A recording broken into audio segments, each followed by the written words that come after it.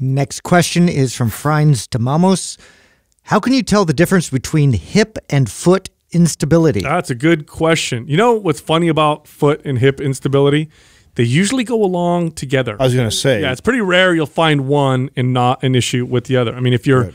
if whichever one has the problem, the other one starts to compensate.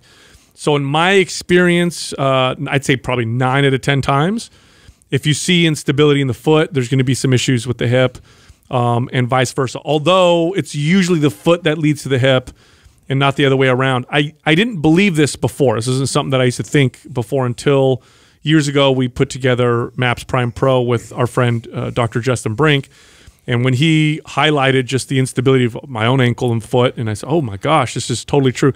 And the fact that we wear shoes as soon as we can walk, and our shoes, our shoes, excuse me, stabilize everything for us, and how weak our feet and ankles uh, tend to become.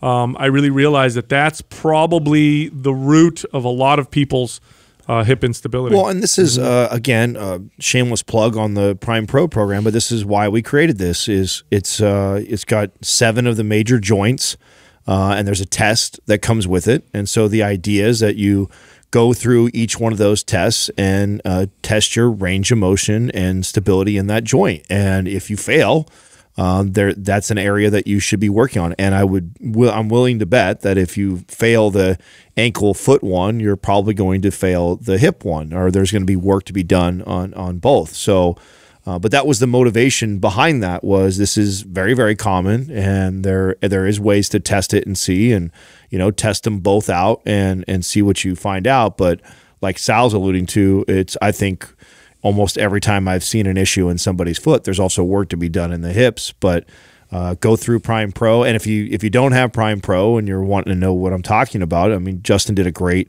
or excuse me, I did the Prime Pro webinar. Justin did the Prime one. Uh, did one on uh, PrimeProWebinar.com. It's totally free, uh, and I go through most of the joints. I don't go through all of them, but I go through most of them, giving you an idea. Uh, of what you're working on and what it would look like, uh, especially for the hips that's in there. Mm.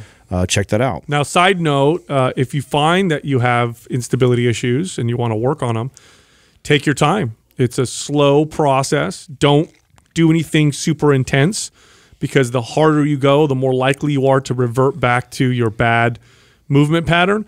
So start slow and practice very often and frequently. You not don't necessarily need to do long stability workouts. 15, 20 minutes every single day will get your body to start to progress.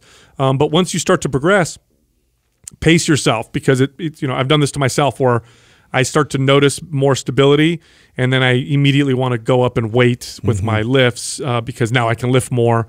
And then oh, I hurt myself, you know, type of deal. So take your time.